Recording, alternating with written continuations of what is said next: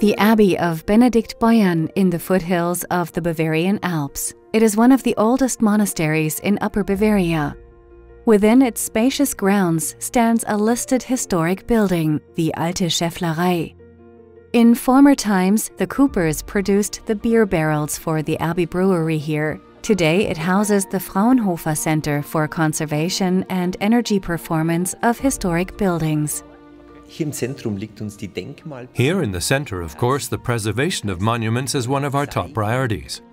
That means that we want to show how it is possible to refurbish and conserve listed historic buildings in the long term without damaging them in any way. We plan to present events here in order to pass on this knowledge to interested persons who execute such projects. We want to show them best practice. We want to make the solutions tangible. We want this center to play an active role.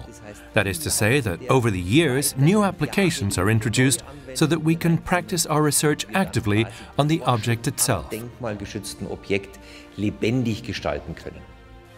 The Fraunhofer Institute for Building Physics, IBP, took over the historic building in 2010 and then spent six years renovating and researching it in line with its historic status and in an energy saving manner.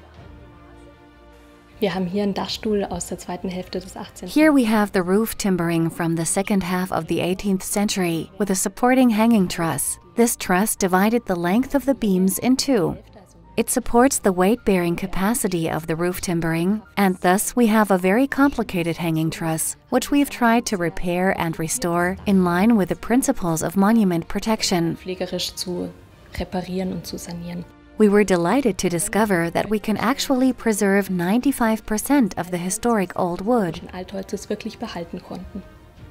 The scientists at the Fraunhofer Center Benediktbeuern are also investigating how historic buildings and listed monuments can be made more energy efficient. The researchers lay special emphasis on the need to be able to reverse all measures so that the valuable historic building substance can be retained.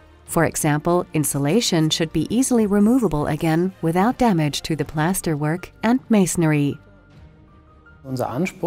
Here in the Alte Schäfflerei, we aim to show all the various aspects of monument protection for buildings. That starts with the protection of the facade, with the renovation of damp wall foundations, and the maintenance of historic windows.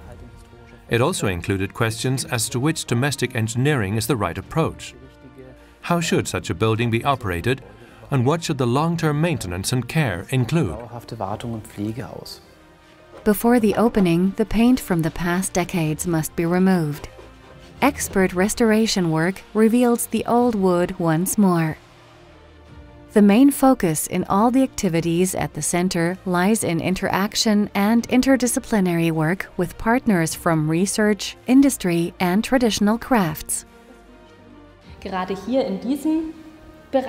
In this area in particular, we have created the possibility of establishing an atelier, a sort of workshop in the old smithy, the old caretaker's premises of the building. Here, industrial partners have the opportunity to demonstrate their work or to carry out training courses for craftsmen. So we have the exhibition, the demonstration, and the events upstairs, and here downstairs we have all the craftsmen's work, bringing together all the concepts of the center. The Alte Schäfflerei has lived through turbulent times from its completion in 1760 until its present function as the Fraunhofer Center for Conservation and Energy Performance of Historic Buildings. The Abbey of Benediktbeuern is a historic location at which Josef von Fraunhofer once worked. We, the Salesians of Don Bosco, are grateful that the Fraunhofer Institute from Holzkirchen has renovated and repaired the Alte Schäfflerei, which was previously in a dilapidated state, and that they are now using it for their own purposes. It's wonderful. We are very pleased. Wunderbar, wir sind sehr dankbar.